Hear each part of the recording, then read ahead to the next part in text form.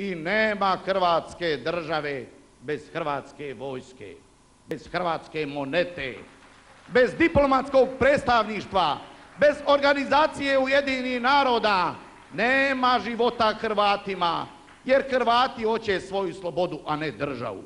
A država im je sredstvo da dođu do svoje slobode. Pa trebamo priznati sebi i svijetu i svojoj savjesti i malim Hrvatima koji uvijek kažu pa mi Hrvati nemamo ili ne smijemo imati svoju državu. Koliko je hektolitara, hektolitara krvi proliveno za tu Hrvatsku domovinu. Koliko je hrvatskih majki plakalo stotinama i stotinama godina da bude samo Hrvat slobodan u svojoj Hrvatskoj kući. Mi to nismo imali. Imali smo uvijek saveznike, po znacima, na neprijatelje, okupatore, Italijane, i Austrijance, i Mađare, i Turke, i Srbe.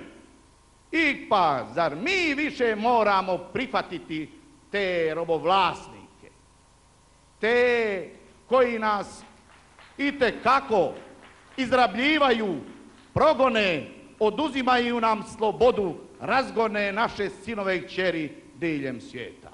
Zato je ovo povijesni sabor. Hrvatske stranke prava. Odavde mora od danas, ako Bog da, od danas poći baklja slobode. Da u svaku hrvatsku kuću uđe državotvorna misao Hrvatske stranke prava koji je proklamirao otac domovine, jedini otac domovine, doktor Ante Starčević. Bez Hrvatske države nikada nema ni sreće, ni slobode, ni dostojanstva hrvatskome narodu. Sve druge opcije, sve konfederacije, bile one najlabavije, su izdajnici, jesu izdaja hrvatskog naroda. Hrvatska stranka prava nikada neće prihvatiti nikakav savez ni s kojim narodom, ni s kojom državom. Hrvatska hoće živjeti u svojoj slobodnoj, nezavisnoj Hrvatskoj državi.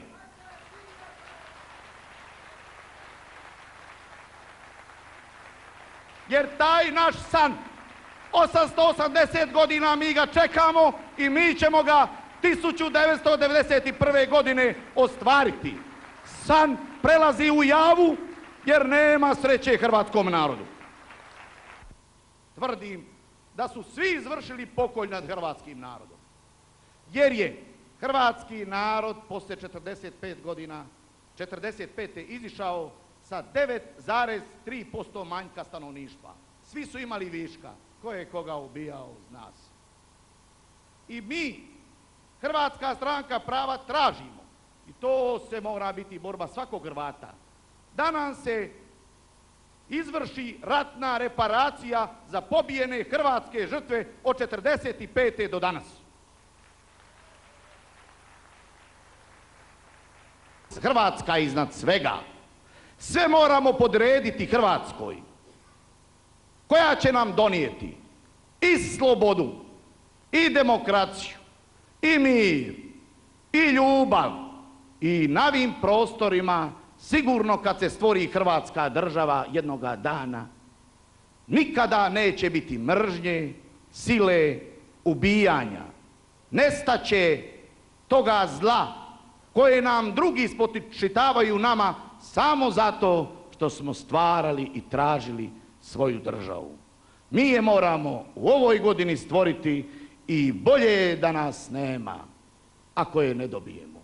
Jer jedan dan slobode je slađi nego 50 godina robstva. Mi moramo to shvatiti. Neka živi hrvatski narod. Živjela slobodna, demokratska, buduća, nezavisna država Hrvatska.